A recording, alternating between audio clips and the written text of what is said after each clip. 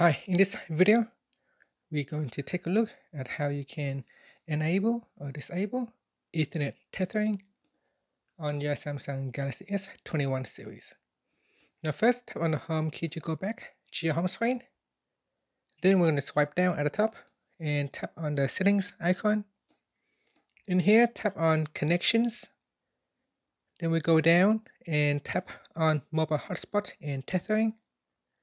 In here, you want to tap on Ethernet tethering switch to turn it on or off.